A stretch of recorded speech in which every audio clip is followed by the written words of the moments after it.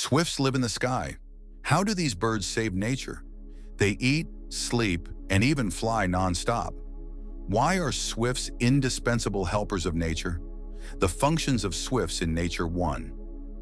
They eat insects. Thousands of mosquitoes and midges every day. 2. They maintain the balance of the ecosystem by regulating the number of pests. 3. They are indicators of clean air and climate.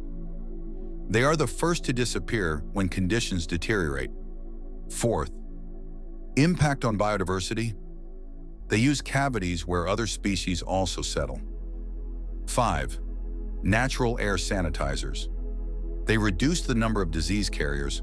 Unusual facts about Swifts 1. They sleep right in the air. 2. They can go months without touching the ground. 3. The fastest birds on long routes. 4. They fly at altitudes of up to 3 kilometers. 5.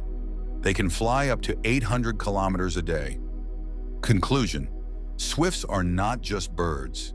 They are the air guardians of nature, without whom our world would be full of insects and environmental problems. Subscribe so you don't miss out on other hidden heroes of nature